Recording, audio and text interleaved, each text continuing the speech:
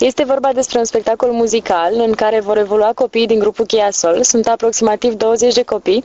Surprizele acestui spectacol uh, sunt multe. În primul rând trebuie să spunem despre CD-ul care va fi uh, dăruit la sfârșitul spectacolului celor mai mici spectatori.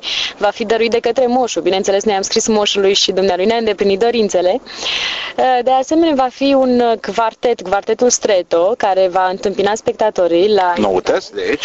Noutăți. Față de celelalte de spectacole dumneavoastră. Exact. Quartetul Streto este vorba despre uh, patru uh, instrumentiști ce, ce sunt din Filarmonica Botoșani, foarte talentați, au pregătit un spectacol de colinde, astfel încât spectatorii să intre în uh, spiritul sărbătorilor chiar de la intrarea în uh, sala Teatrului Mihai Eminescu.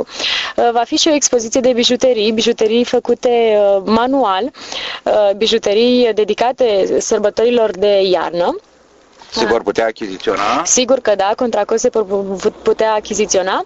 Trebuie să mai spunem că este și un spectacol uh, caritabil. Uh, vom încerca să strângem uh, fonduri pentru un copilaj de un an și trei luni, un copilaj bolnav care are nevoie de tratament lunar în Cernăuți. De aceea mama dumnealui, mama copilului, a apelat la noi. Mama copilului confecționează niște magneți pentru, pentru frigider și îi va vinde.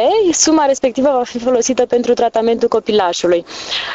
Trebuie să spunem că este un spectacol tip musical, vor fi roluri, copilașii vor avea diferite roluri și trebuie să mai spunem că am obținut acordul lui Moș Crăciun și mai ales l-am contractat pentru acest spectacol, Moșul cel adevărat.